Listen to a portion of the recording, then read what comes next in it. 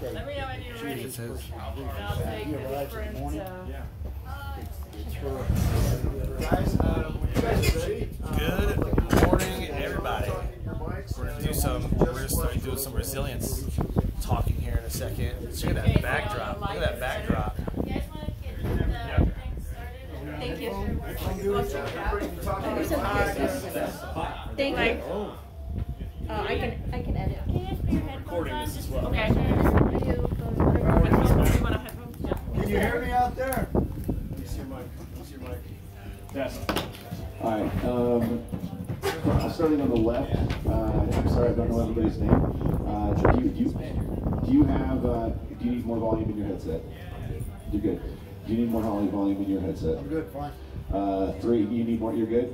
And Misty, do you need more volume in your head? You're good. Okay. All right. Sounds good.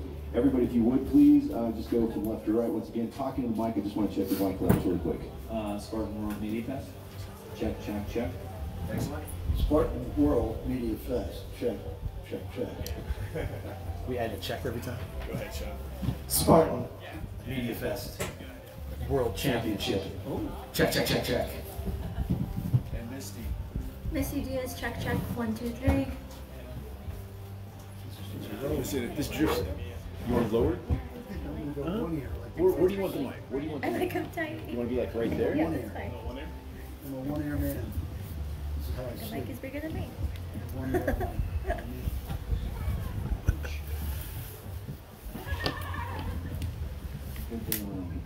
Oh. I just stripped it.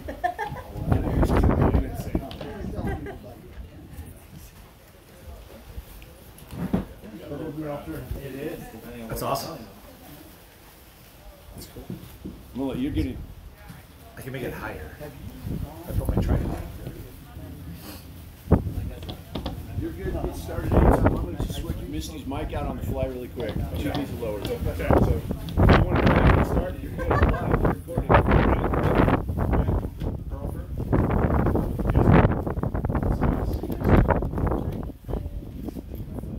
All right. We're going to go ahead and get started here. Uh, welcome, everybody. My name is Lonnie Bain. I'm the founder of Red Shoes Living and the moderator for the SpartanX Leadership Series. And we've got a great panel of amazing human beings and experts today. We're going to talk about life lessons on persistence, resilience, and grit. We're recording here this uh, from Spartan Media Fest brought to you by ATP Science. And really grateful to be with you. I want to introduce the panel without further ado. We have Misty Diaz, uh, incredible human being, resilient, gritty human being who has done over 70 Spartan races, 200 plus road races, world records, Red Bull 400. She's done all kinds of events and has also got spina bifida, but you would never know that because she crushes life. We also have Sean Douglas here uh, from the Blog Talk Radio, Life Transformation Radio. Another amazing human being. I've been able to spend some time with Sean, get to know him a little bit, and I'm really excited to talk to him about purpose and some of the work that he's doing as it relates to our topic today. To my left, I have retired Colonel uh, Tim Nye, who's a, a good friend of mine and uh, probably could take the stage and stay here for four or five hours just telling stories about his career and his life in the military and everything that he's done. Then we have another good man over here, the Spaniard, Charlie Brenneman, uh, a friend of mine who, uh, former Spanish teacher, became UFC fighter, now is an author and uh, talks about the books that uh, has changed his life and reading books and another gritty individual. Um, so welcome everybody here. It's, it's good to be with you. And here's where I want to start. So if we talk about our topic for today, persistence, res- resilience, and grit. One of the things that comes to mind, I know we've all got stories about this, but we talk about how these moments in life define us, and some people say that they don't. But as I think about all of you and everything that you've accomplished today, I think about mindset. Whenever you come to an obstacle in your life uh, or trying to overcome something, and I want to just turn, Charlie, I'm going to turn to you for a minute because I remember the story, um, not to start off with this, you're probably going to kill me for this. But you're a UFC fighter, and I remember having a conversation with you about getting knocked down and what that was like. And talk, talk to me for just a minute about the mindset. When you, you know, you come to an obstacle, uh, you're in a fight, you actually get knocked down. How do you get through that? What's the mindset, the grittiness that gets you through something like that? The thing I like most about it was very black and white. They put you against the wall and you had to do it. They close the door and then they say fight, and then you have another guy coming at you trying to tear your head off. Uh, getting knocked down and getting knocked out. I'll go with knocked out because that's the worst part. Uh, but it's symbolic in life that I was unconscious on TV, opened my eyes, and thought a lot of things. But, but the end of it was I, uh, I have a choice. I can lay here. They're not going to let me lay here. I have to get up, or I can get up. And then so I got up. And then you go to the center of the ring. They raise his hand. Don't raise your hand. You feel like an idiot, embarrassed, vulnerable, all that stuff. And then you walk out, and then you just take another step and another step, and then that metaphorically is life. So it, it, it's a perfect symbolism of getting back up after getting knocked down. Yeah, and I think what's interesting about that, Colonel Nye, I'm going to turn to you. I- When you um, when you get to that point where you take one step in front of the other, you know, what do you discover in yourself along the way? Is it a surprise when you come up to an obstacle or a tough situation and you can see it and you have to get through it? You know, or do you surprise yourself along the way in terms of what you can do? Yeah, I, I think that you probably do. I think most people probably do, right? I don't think many people understand how far or how hard they can push themselves until they have to, until something important to them is on the line, right? What is what is it that you want to achieve, and what is it that you're willing to pay to, to get there? So, you know, I think people surprise themselves um, by making it, but, but nobody makes it unless they kind of believe that they can. Because if you don't believe you can do it, then you're never going to do it, right? I don't want to get cliche, but you got to have the belief first. You got to have the will. That's grit. Grit is really perseverance and passion over time. It, it's not in that one minute. That's more of a, a tactical uh, action versus kind of a, the grit is more of a, a sustained, if you will, strategic endeavor. Does that answer? you? That's, yeah, I like that. And you, you just made me think of something. And Misty, I'm, I'm going to come down to you on this, but you and I were talking this morning about mindset, you know, what mindset you have. And you brought up it's the team. Part of your mindset and part of how you prepare and part of how you have accomplished everything you have and your grittiness is the team. Talk about the team that's around you. Um, so you know my front row, it, it's you know there's two for, for me there's two different two different levels. I have my front row people. That's my solid wall of just people who just or support me, encourage me on a daily basis. That you know if I have an issue, I go and talk to them, and only those people in that front row. I don't tell everybody. those are my solid front row people. And then I have, you know, those who I build my team with, you know, just one small example over hundreds and hundreds of other examples I have um, where, you know, just simply climbing. You know, I went to Colorado Springs, uh, what, a week ago to go climb Manitou.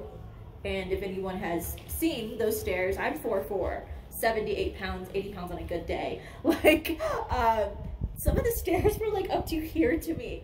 And immediately I'm like, oh my God, I can't do this.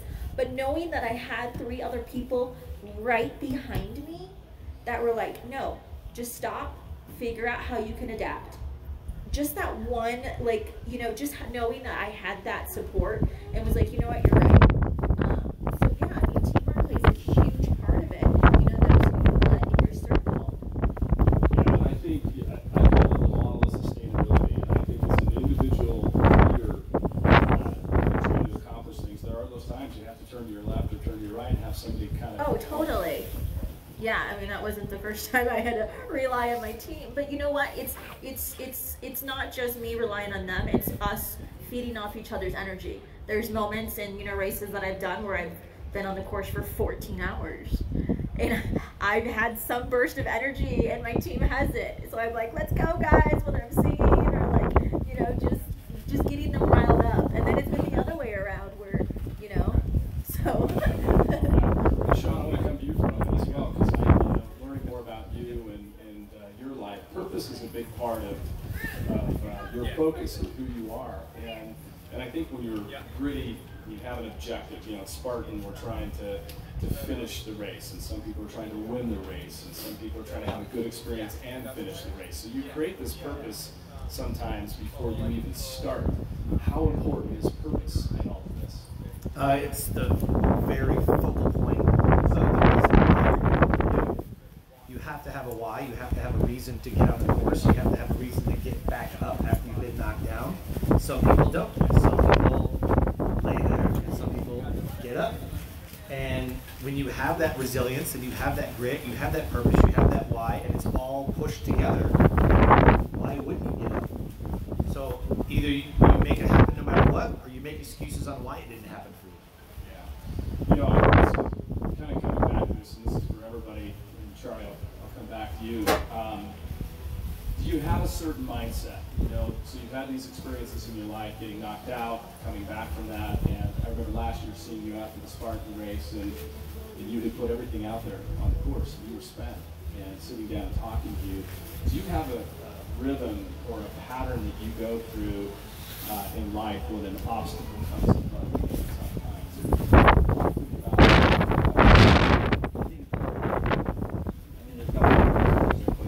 One of the biggest ones is that I don't stop, I'll win. That's it. If I don't stop, I'll win. And that's uh, uh, winning is at the end of that is the win.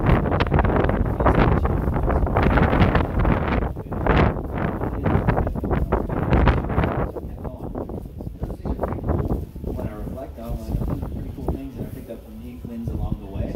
Uh, and then one of the, my firmest beliefs is, and then I'm, I do a lot of self doubt, a lot of negative thoughts, and you know, pretty standard in that category. But uh, if you keep going, like I said, a lot of times you're gonna win. I I've learned that like my world classness isn't just keeping going. Uh, there's a, a guy named Jordan Peterson who wrote a book called 12 Rules for Life. But he said life's not a game, it's a series of games, and our goal should be to win the series of games.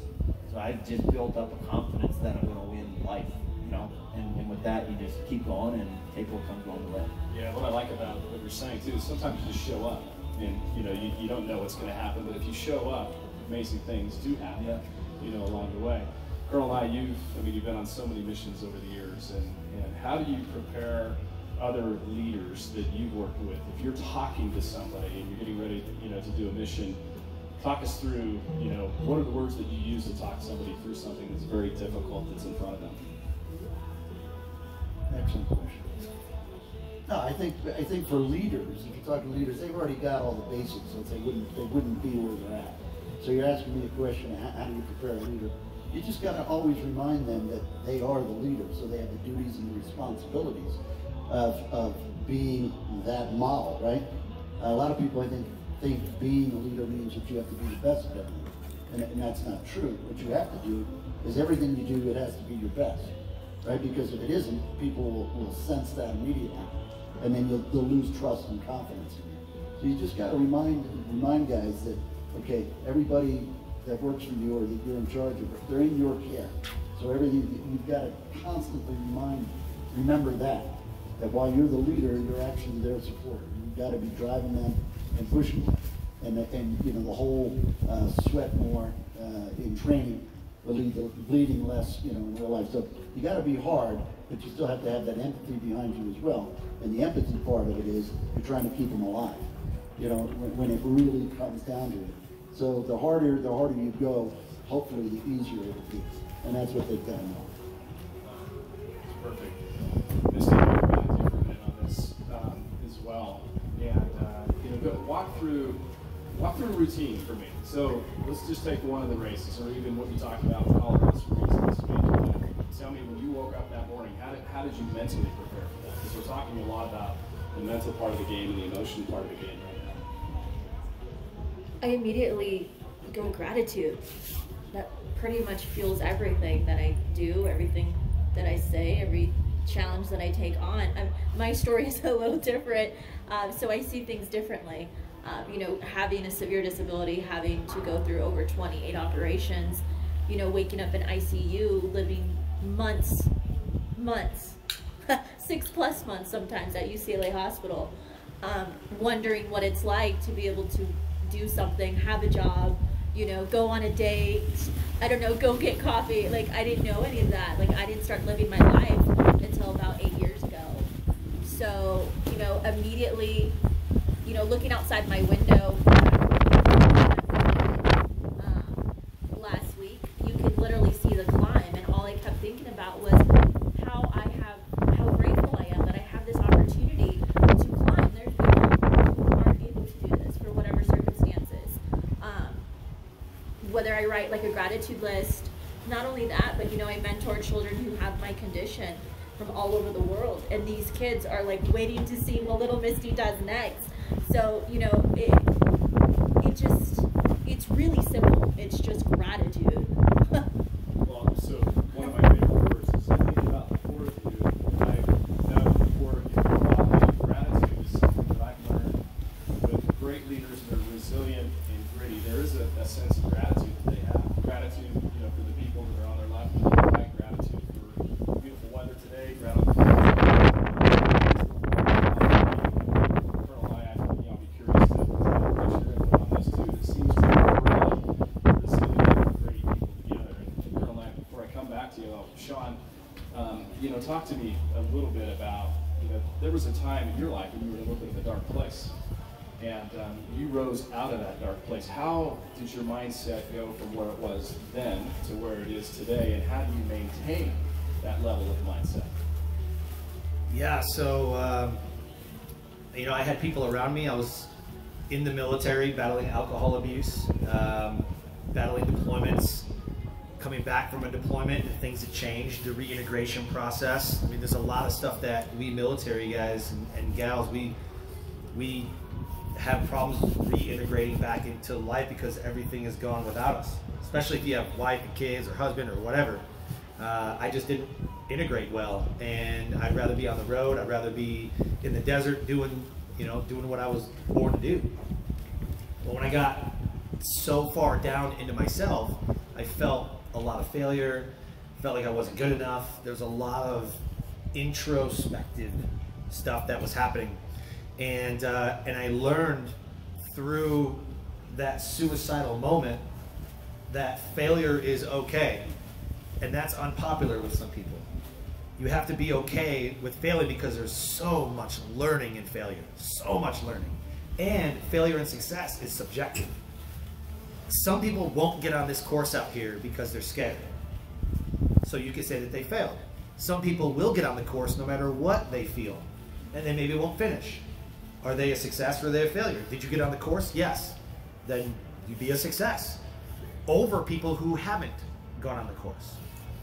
My mindset changed to where it's okay to fail and there's a lot of learning in failure. As long as you fail forward it's all about resilience. Resilience is about going forward. Everybody wants to call it bouncing back and i don't want to go backwards i want to go forwards. I want to bounce forward. Everything i do if i stumble and fall someone's going to be there to pick me up. If there's not someone there to pick me up then i need to be able to pick myself up so you have to learn to be resilient and your mindset is 80% of that 100%, 80% of that. To gratitude, they've actually linked science to the number one reason why people don't take their life. And the reason why stress, anxiety, and depression has been decreased in people's lives is due to their increase in gratitude. Gratitude is the number one skill used to, to decrease anxiety, stress, and depression. So I to talk about that, going to come right back to you on this gratitude part. But what I, the other thing I found with leaders, great leaders, I think, are there when you're grateful, you're open, and you allow people to step into your life and opportunities to step into your life. And I think one of the first times I did a Spartan race, and I needed help on an obstacle. And I was a little ungrateful that day, and I was not feeling very good, and I didn't want anybody to help me. And pretty soon, people didn't want to help me you know. And then, then my mind started shifting and went, wait a minute, I do, you know, need this help. So I think when you're ungrateful, you become small. Your world becomes small. You don't let people in. Opportunities don't come in. You become very cynical. And again, you know, with the four of you, incredibly grateful people. Pearl and I have known you for a long time now, and you know, know your history and everything. But you always show up with one of the best attitudes and, and, and as a grateful human being. And you know, just talk about what that means to you. Well, I mean, I always, I mean, I think it's better than the alternative, right? I mean, thankfully, uh, Sean looks like he's come through that dark period. I mean, many people don't. So uh, showing up, being part of it, being part of a team, have, having a surrounding, having a culture is all better than not, right? And its magnitude's better than not. So I, and it's, it's interesting when you talk about being open. A lot of people don't ask for help, and, and a lot of people are afraid to ask for help. Uh, and yet I have learned from traveling with Joe DeSena, uh, I've been fortunate uh, to meet a lot of um, influential people and a lot of wealthy people. And I have found that it's pretty much the more successful a person is, the more open they are generally to helping. Um, you know, when you have a lot, uh, people seem generally uh, pretty easy about sharing, or at least giving you advice or helping you along the way. So I think you as well. you feel good when you get a gift? Certainly. But I think you feel bad when you get when you give something, you make somebody else happy. It actually makes you feel better. That's what you kind of the, the, the, what you're grateful for is that you've been put in a position where you can help others. So Charlie, could you just on the statement, are you grateful and Yeah, I mean, I'm grateful. I, I feel like the way that I do things that I feel indebted to my parents because I was raised so well that I can pass that on. That like, I deserve it. Like, I just don't. I was born with not a debt, but I was born with uh, someone giving me something. So I feel like, hey, I got to give this on. And if you look at that to a bigger picture, being here on Earth, you know, it's like I have a fear of missing out, not like being with the cool kids, but man, what if I don't accomplish everything I could have possibly accomplished? That being said, yeah, I mean, competition, being grateful. I, I don't, I don't know, I don't know that I've ever correlated that, uh, but I do know that I'm a grateful, thankful person, and I'm super competitive. The, the most um, prominent thing that I've learned, and this was from a couple military guys, is the balance of ego and humility when it comes to competition. Because I slide down the slippery slope of ego. But I'll tell you, about what we were talking about earlier, when you get knocked out cold and you're totally embarrassed, that kind of gets rid of a lot of ego. So something so simple as yesterday on the flight here, th- there was a business class bathroom. And I was like, I don't really know the protocol here. Am I allowed to use that bathroom or not? And I thought, well, if I say it out loud, someone might think I'm a, I'm a whatever, stupid. I don't. And I thought, I don't care. And I said, am I allowed to use that bathroom or not? So it's just like the, the real being embarrassed, big time, like makes all those little stupid embarrassments be like, I don't care. Yeah, I'm, I'm- whatever. I'm silly. I don't know. Okay, what? You know. But I think uh, for me personally, it was developing the ability to fight and beat someone up. It gives me that confidence. Like, what, what, what, what is it? What do you do? What do you want to do? I look silly. Look silly. But learn and ask. Joe's a perfect example. I ask him all kinds of questions. He just answers me sincerely different. Well, so it's interesting, we, you know, we've all mentioned Joe and talked about Joe, and I've, I've heard Joe sometimes talk about the new generation and how it's a, it's a softer generation. And um, I've got four kids, and I think of my children, and you know, they, they do have a different outlook on life. And and so this is a question for all of you: um, Are we a softer generation now, or is resiliency and grit and persistence showing up in a different way for the new generation now? I love this question. Take it, Sean. I love this question. Um, you can't compare generation to generation because we've dealt with different. Like when I was a kid, I was born in '83. We grew up a lot different. We didn't have the internet. We had vice scripts on the night TV, and if the president was on every channel, then you're not watching TV that night. Like, you know what I mean? And then cable started coming up, and then the internet. I mean, I remember Windows 95. Like, I actually encourage my kids to have more screen time. Everybody's like, screen time is awful for your children. I encourage them to be on their tablets and phones and stuff as much as they can because they're connecting with the world. That is their language. That is how they grew up. Falling of trees and you know doing stupid stuff like lighting stuff on fire like when I was a kid. Like we do different things. We experience different things. My personal opinion is I'm 36. My generation said, I don't like how my parent parented. I'm going to do it different, and I'm going to take care of them so much. And then you pandered to them, and then made them made them weak. There's a reason why parents parented that way, and then you hated the way your parents parented, and then we be the, the kids that we have are not products of you not liking the way that you got parented. Like there's a reason why you got parented that way. When I parent according to what's going on around me, like sex trafficking, I have three daughters, 12, 5, and 2. I literally tell my five-year-old, I'm like, do you want to get trafficked to Mexico? Then don't walk away from me. Like I, I make no bones about anything. I don't say, oh, stop doing that. Like I will punish you or whatever. You know what I mean? And she knows the deal. Like if I point, like I'm like, I'm dead serious. She knows to knock it off. But I make no bones about anything. I tell my 16 year old son, I'm like, if you get a girl pregnant, like you're gonna have consequences, and I tell about the consequences. I don't hold anything back. I swear in front of my kids. I sometimes swear at my kids. Like I don't care what people think about my parenting. But I'll tell you what, my five year old, she tells these other kids what the what the business is, and she's so tech savvy. She's gonna be the next Tony Robbins or influencer. As, I also make no bones about it. I grew up a very different way than you grew up. And this is why, and I explain that to my kids.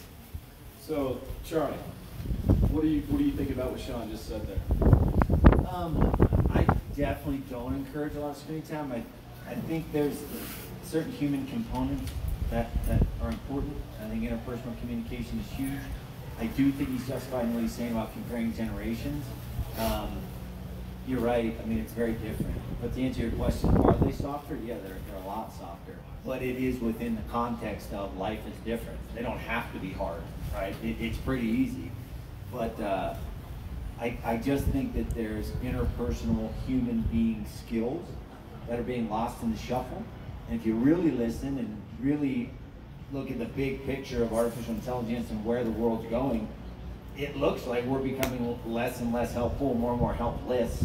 That it is getting to like, okay, maybe human beings are evolving out of being human beings, you know. Um, but I'm really direct, you know, with, with my kids. And one of the ways I feel, and I've heard it from a lot of successful people slash parents, is just explaining things, like talking to them. My wife really, you're talking to them like they're adults. They're six and three.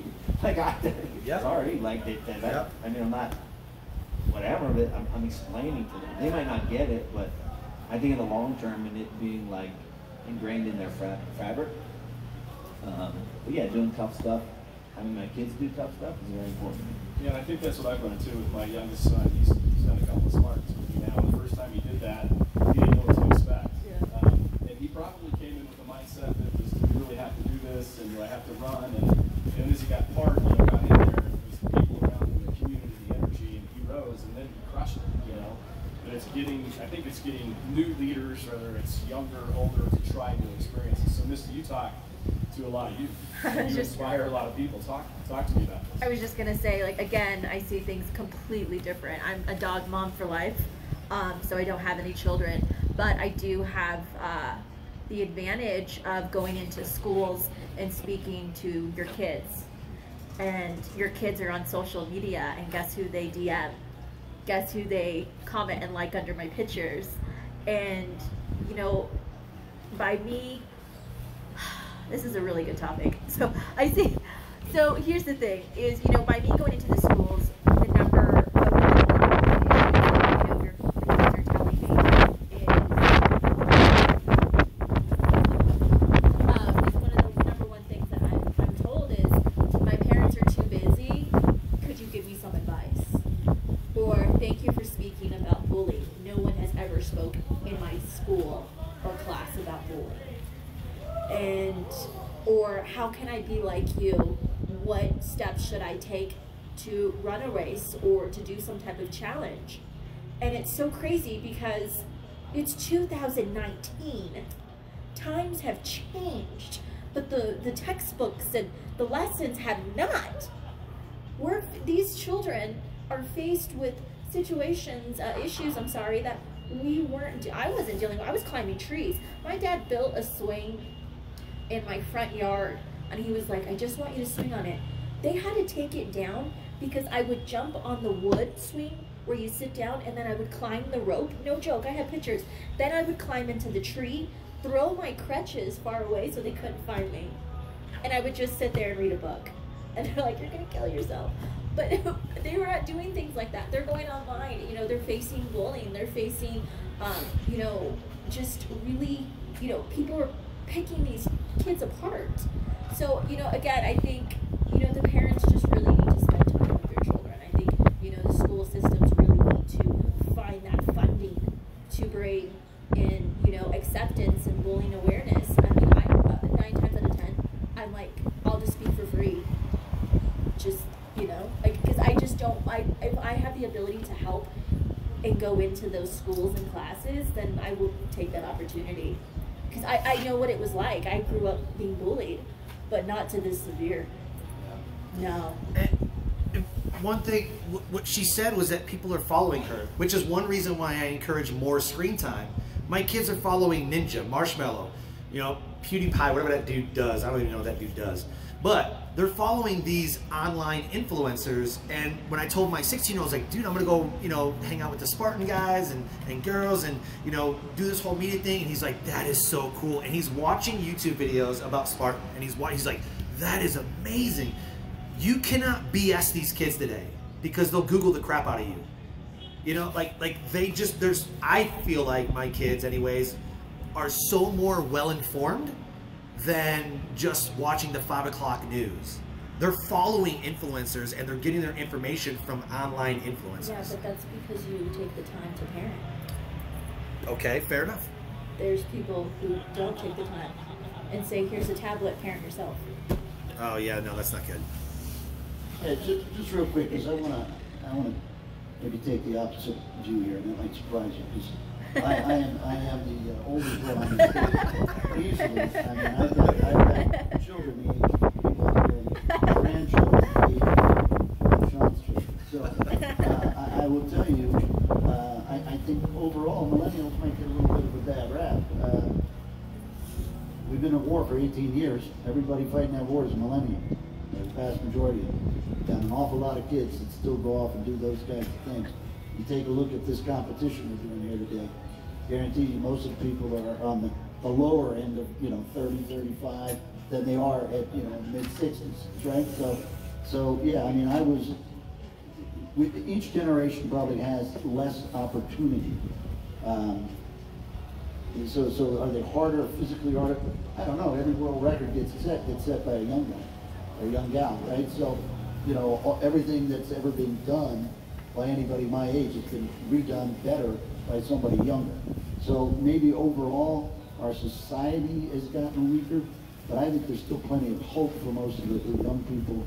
They just, they're looking for a purpose. And they're looking, as, as you already said, they're looking for that purpose, person given purpose and drive. Uh, but the ability and kind of the desire is there, just like the flame, and so right here. Just that easy. I used to make fun of my wife for talking to my children like a kid. And I would say, they will never hire you. I'm talking to them, their children. Well, we all, again, this many years ago, my daughter she did their SATs, and you get eight hundred for verbal, right? She got a seven eighty, and so it was pretty good. And I thought, well, okay, uh, blah, blah, blah. And two years later, my son took him and he got an eight hundred out of eight hundred. Why? Not from talking to me. You know, their mother, uh, talking to them when they were young, in an adult manner, using words that I had to go look up. So it's, I'm just, it's off topic, but you're doing great. All right, but I think there's a lot of hope out there for most of the young kids. Yeah. Yep. You, tou- you touched on something. I'll come back to everybody on this one too, just in terms of grit, because you know there's a lot of talk about grit being a fighter, and so I was, before you talked about that, I was thinking about all the different soldiers you've worked with over the years, the different generations, and you said it perfectly. So my question, and I'm going to come right back to you on this one, is how do you teach grit, or can you teach grit, um, or do you have to experience life to be gritty? I mean, I think some people come, you're talking specifically the military, some people come into it because of their. Some of these guys, The military has a, a weeding out system, if you will, right? It is, it- you're- it's training, it's over and over and over. And It's peer pressure. You want to- you want to, uh, keep up on a weapon, Or can't fire a weapon, so it's positive peer pressure. It's, it's not the bullying kind of peer pressure. And so it's uh, training, repetition, learning what to do in that moment, right? And kind of uh, the, the, the, the phrase I learned is, you know, once you survive the storm, you know, you're not worried about a little bit of wind, you know, kind of thing. So that's what it is. It's, they put you in positions that are extraordinarily hard and tax you physically, emotionally. And then uh, when you come out the other side of that, just like this obstacle course and the obstacle of unity, well, you know you can face the next one even easier. Yeah. Charlie, I'll coming to you and just thinking of the UFC and stepping into the ring, you know, for the first time when you stepped into that ring, back to grittiness. Um, you know, how does that show up for you? And then how do you translate that now into the, the life and the career that you have?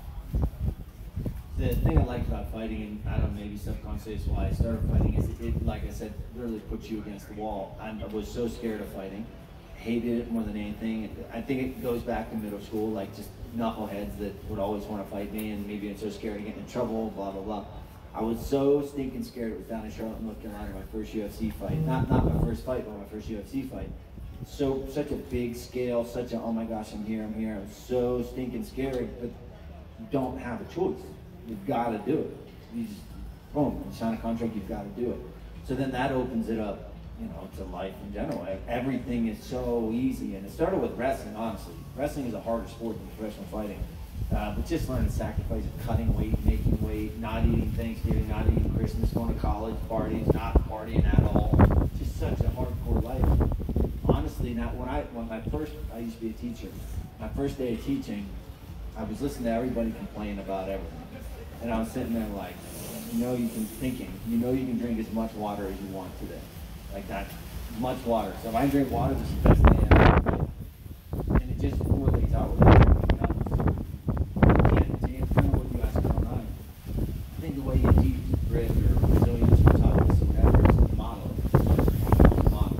And then you kind of hold their hand or escort them through it and then you distance yourself a little bit more, allow them to experience it a little bit more, and then be there when they fall. And I'm 38, and, and I feel like I'm good spot. So it might take half or all of a lifetime to develop that, but it's just kind of like this gradual process of implementation. That's perfect. And on that theme, we're going to run short on time, so I want to come back to everybody on just you know one one takeaway for those that are listening here and those that are listening on the on the recording. Uh, I'm 52 years old, and I have this philosophy as it relates to resiliency and grit. And uh, for me, it's, it is about experiences and trying new things. And every once in a while, I, I get in a situation, this is literally what I say. I stop and I say, "How the hell did I get here?" Mm-hmm. And but it keeps me alive, and I and so that's that's for me the one thing. I just keep putting myself out there and keep trying to you know scare myself. And I'm always surprised. at questions. So, second time, maybe I'll come to you, and Sean will come right to you. What's the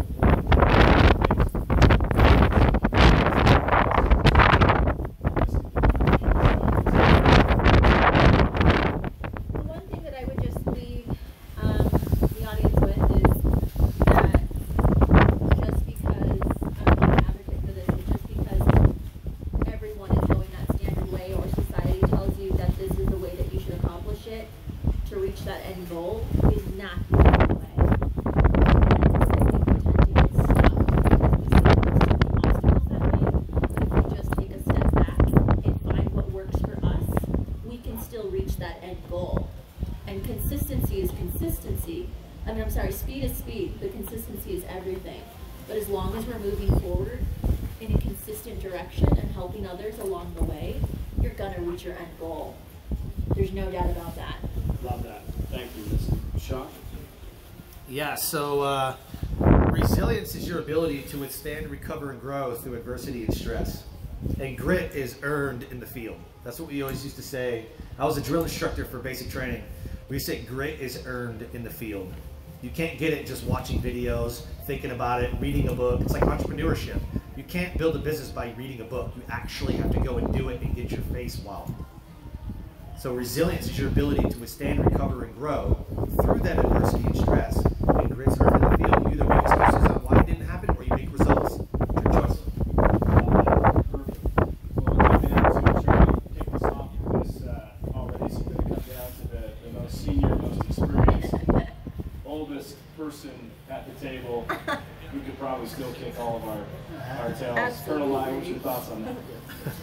Oh, we still up? Was it, oh, I couldn't hear mine. Yeah, let's not carried away. Um, yeah, listen, what I always believed in, what, what got me through every challenge I ever found myself in, whether it was going through the Marine Corps, going to Ranger School, or any, of the other thousands of schools, you know, is what separates me from you. You know, just I always would stand like at the beginning of any any one of these challenges, and there's people you right and left, and I'd always kind of look up and down and say, what what makes that guy better than me? And I'd always arrive at the answer, nothing. You know, I just you gotta believe. But he's